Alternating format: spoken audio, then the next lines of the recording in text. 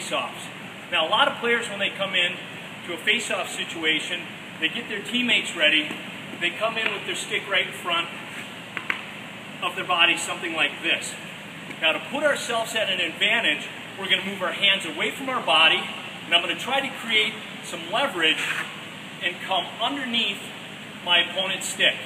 So when I come in for the face-off, rather than just come in and get set, I'm going to come in and get set.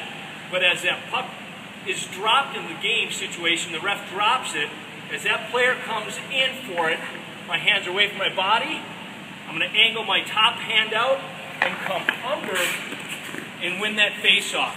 Move your hands away from your body. Create some leverage with that stick and your top hand pushing out, sweeping underneath your opponent's blade. It's going to give you a great chance to win that face-off. Have a great week.